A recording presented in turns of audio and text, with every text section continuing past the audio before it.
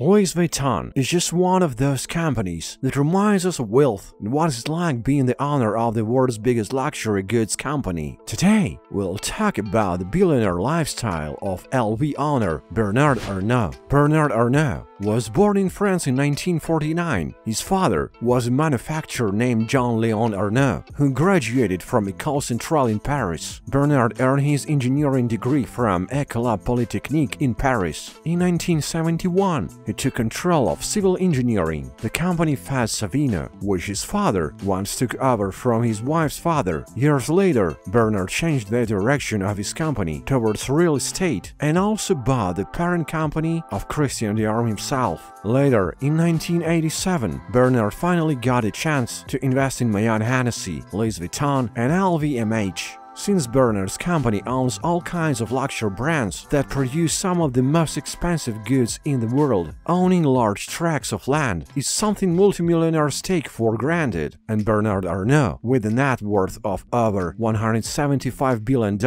is no exception. It turned out that Bernard secretly acquired five large plots of the land in the Beverly Hills area between 2016 and 2017. The combined value of the five plots is reported to be around $125 million.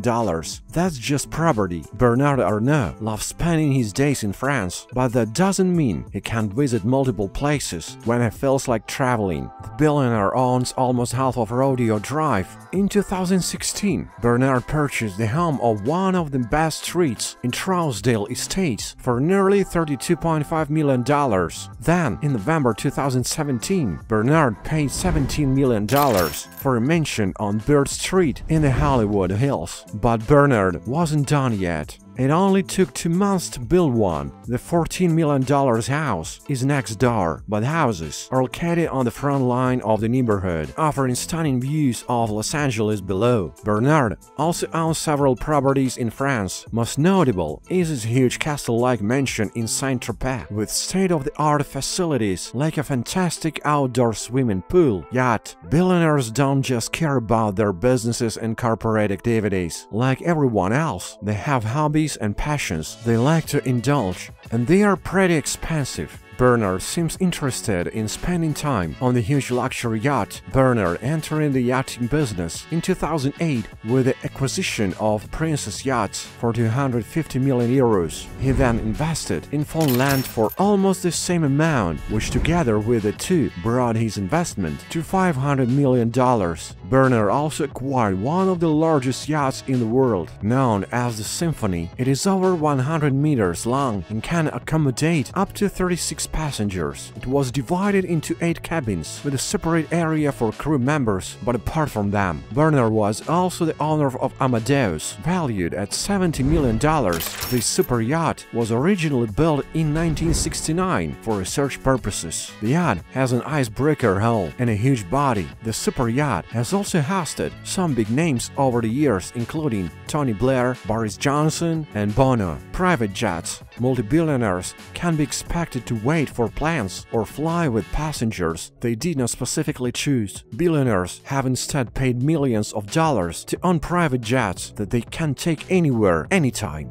Bernard Arnault also has a whole range of planes that make this trip very fast, comfortable, and of course, luxurious. He's the author of a Bombardier Global 7500 with FGV-MA registration. This jet is said to be the longest and the largest business jet in the world. It can accommodate up to 19 passengers. The jet costs 73 million. Bernard also owns a Bombardier Global 6000 with registration number FFVI. This particular jet was designed in 2012 and Bernard bought it for a private island for 23 million. Earth is not just about grand mansions, hotels, and shopping malls for billionaires. These people have the money to buy up entire islands, and they do. Frenchman Bernard Arnault is the proud owner of Indigo Island, a 133-acre island in the Bahamas. Luxury hotels. Bernard also owns another luxury asset, namely luxury hotels. His company, LVMH, owns both the Cheval Blanc Hotel and the Belmond Hotel. Both of these hotels are famous, are famous for their extravagance and amazing amenities.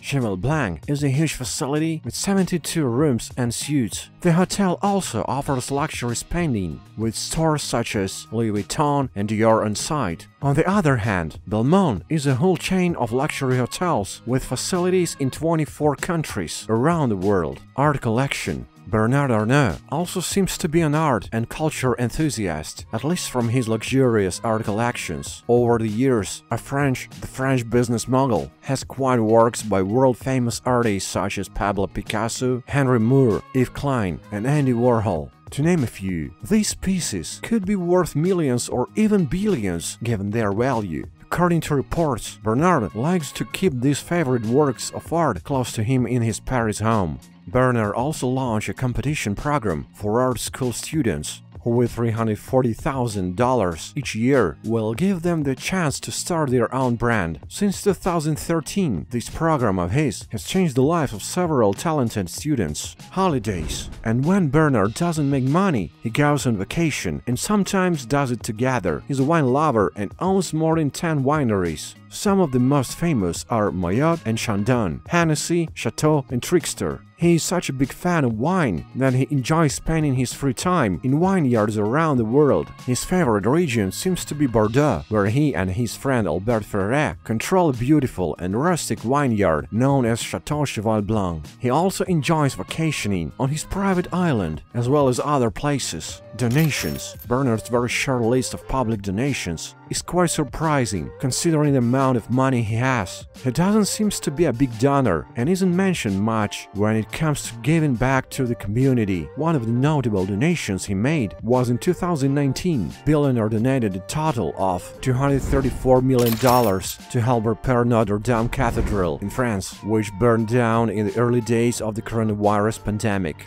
Bernard also donated to the Amazon rainforest to help fight the fires donated by the Simis amount of almost $11 million. It's also possible that Bernard is making donations all the time and not disclosing them. Who knows how many times he has donated smaller sums to various causes without making it public, which is why he seems not like donations. Nevertheless, Bernard's published donations are not extravagant compared to some other billionaires like Bill Gates. Bernard Arnault owns many things. It's just a consequence of being crazy rich as he is. His list of assets is seemingly endless, and with a long list of mistakes, it's understandable that he spends money on useful assets that will secure the future of an entire generation. That was it for today's video. Thanks for watching.